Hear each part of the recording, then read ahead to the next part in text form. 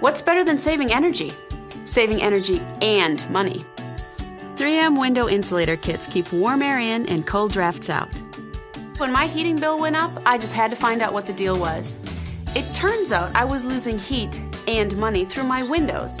But there's an easy fix for that problem. 3M window insulator kits are a quick and easy way to save energy and money. Plus, they're so easy to install. Here's how. First, give your molding a good cleaning with soapy water. And make sure you let it dry completely. When it comes time to tape, you'll be glad you did. Measure the width of the window and add an extra inch on each side. Cut the film to match.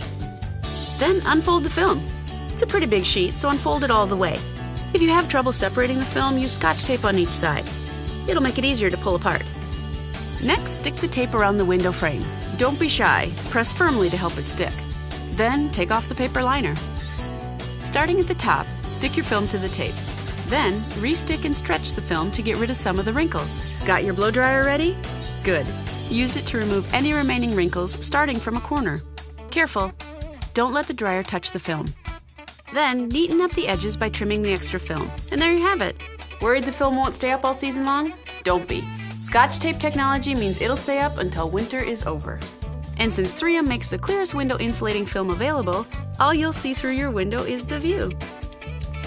When you're finished, it'll help your home be comfy, cozy, energy efficient, and your heating bill may be lower. In fact, you could save up to $18 per window this year.